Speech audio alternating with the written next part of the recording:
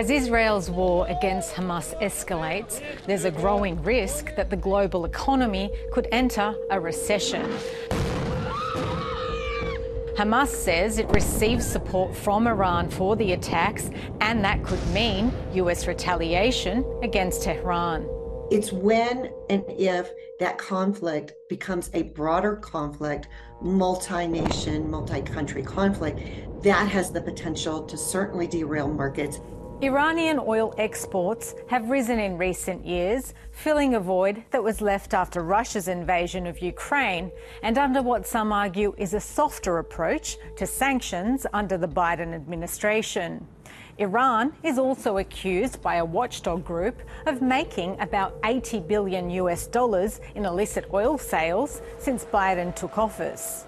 The majority of Iran's people don't support the regime and want the US to take a stronger stance. Iranians themselves have been risking their lives for freedom after a global movement sparked by the death in custody of Mahsa Amini more than one year ago. If the war spreads further and Washington imposes tougher restrictions, Iranian oil production of more than 3 million barrels a day could come under pressure. There's also a risk that Iran itself could disrupt the flow of oil through the Strait of Hormuz. This critical waterway separates the Persian Gulf from the Arabian Sea, and about 20% of the world's oil is shipped through here. If Iran's oil supply is cut, a key question is whether Saudi Arabia may help fill the gap. It's a key producer that forms part of the OPEC oil producing nations, and earlier this year cut production by 1 million barrels a day. If the uh, sanctions on Iran are, are, toughened, and uh, there's no other alternative supply coming uh, through countries such as Saudi Arabia, oil prices could easily sail through $100. That's going to add to inflation pressure globally. It's going to add to pressure on central banks to keep raising interest rates. Um, and uh, add to add to the risk of a global recession. If tensions continue to escalate, we could be in for a long period of economic uncertainty.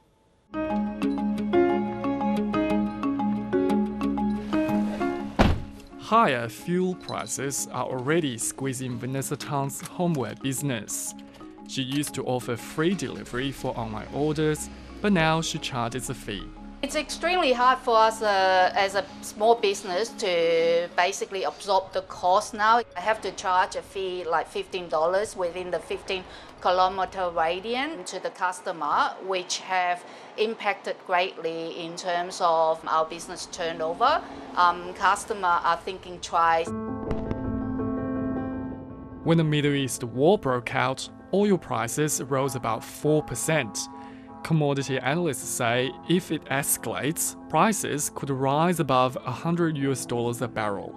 If we start seeing the US point the finger at Iran, we could see Iran's oil exports start falling. And that is where we could see a sustainable oil price premium baked in on the back of this conflict and falling by about 0.5 to 1 million barrels a day, equivalent to about 0.5 to 1% of global supply. Across the country, petrol prices have averaged more than $2 a litre.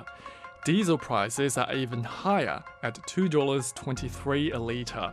It's really killing prices at the moment. Have to like live very on budget, very on budget. Experts say Australians could be in for more pain at the pump just before Christmas. The oil prices that we're talking about now relate to what we call the December contract price. That oil will go into a global refinery, it'll then be refined into petrol and diesel, and we probably won't see that product in the country until late December, early January. It's another blow to households already struggling with cost of living pressures. Independent MP Dai Le is calling for action from the federal government. If we're expecting petrol prices to increase due to the conflict in the Middle East, then this is the right time to really bring on the fuel excise tax cut for families, working Australian families. Higher fuel costs will push up inflation, and Australians might expect to pay even higher prices as fuel is used in many parts of the economy. Some economists say that may concern the Reserve Bank, which could come under pressure to consider another interest rate hike. Vanessa Tan also wants the federal government to help small businesses like hers by cutting the fuel excise. If the, the petrol price keep on increasing, instead of um, charging $15, we might have to consider charge about 20 or even up to $50 depending on what the price is in the future. Raising prices when many Australians are already stretched.